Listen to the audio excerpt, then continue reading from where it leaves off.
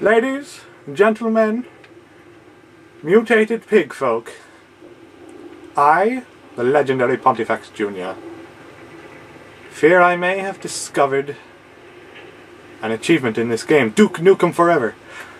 Now, as is custom, whenever I play a game, I like to be checking the achievement list as I go to minimize missed achievements. Now, have you seen uh, do, do, this one, Companion Barrel? Unlock secret closet at the end of the fork stop.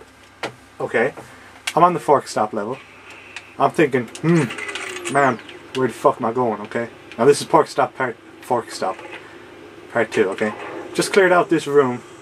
You'll know it when you get to it. It's a fucking bitch.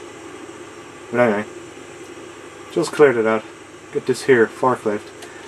Now I discovered this in the process of my many failed attempts at completing this part of the game. It's very difficult in my opinion. But I'm playing on hard mode. If you're playing on anything less, it's probably not going to be too bad. So anyway, just drive this here forklift over here. Hop up. This is the side that you don't have to go up.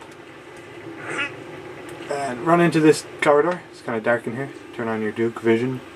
This barrel has a heart on it, so it must be the companion barrel. Right. Right. Huh.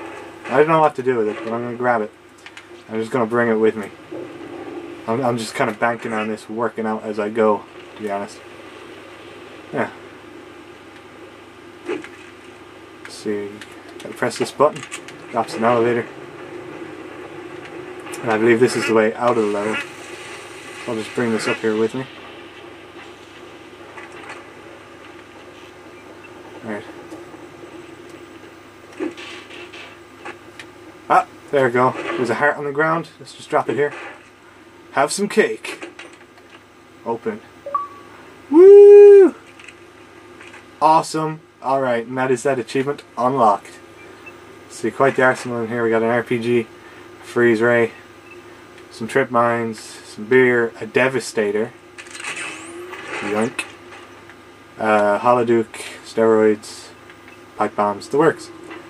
And that brings us to, well, presumably the end of the level. Now, I'm not going to record this because I'm probably just going to fuck up whatever's coming up. I hope it's a boss. I think it's the, uh, I don't want to spoil it for anyone who hasn't played and just wants to check out the achievements. So anyway, this is Pontifex Jr. signing out.